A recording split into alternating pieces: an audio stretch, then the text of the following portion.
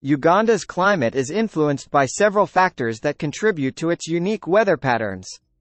First, its location near the equator causes consistent temperatures throughout the year. Second, the elevation of different regions in Uganda affects the climate, with higher areas experiencing cooler temperatures. Third, the presence of Lake Victoria has a moderating effect on the climate, making surrounding areas generally cooler.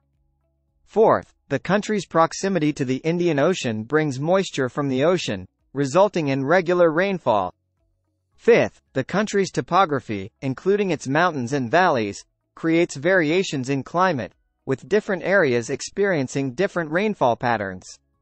Sixth, the presence of the Ruwenzori Mountains creates a microclimate, causing higher rainfall in the surrounding areas.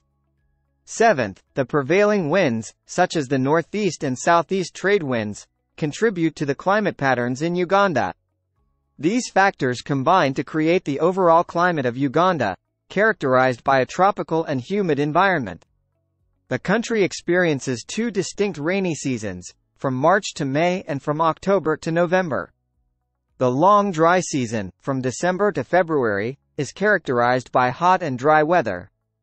The short dry season, from June to September, also brings dry weather but with cooler temperatures.